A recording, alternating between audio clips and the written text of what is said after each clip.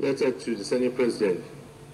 Dear Senate President, after due consultation with our constituents and stakeholders in our constituency, in proper recognition of Section 681G of the National Constitution as amended, and for the fact of our party, the All Progressives, is hereby mandatory faction, we hereby inform the Senate that we, the undersigned, Senator Dino Melaye Kogi West, Senator Benade Gabas Ganade Benue State, Senator Ibrahim Danbaba Sokoto State, sẽn tɩ shɛb north sẽn mohamed shitu jigawa sẽn tʋra fiibã n south sẽn tɩ n kui kaduna north sẽn isa haman county central sẽn tɩ mosura sumoni oyo central sẽn shoji akombi oyo, oyo south sẽn tɩ usman bayo nafada gombe north sẽn musa kɔnkoso kano central sẽn tɩ bauchi north sẽn tɩ alen wadi central hereby inform that we don't say are changing our political affiliation from the All Progressive Congress to the People's Democratic Party.